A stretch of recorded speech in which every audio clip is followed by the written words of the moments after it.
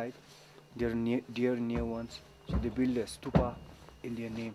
So I think the red one, a female died. So is in the name of female, and that white one is male.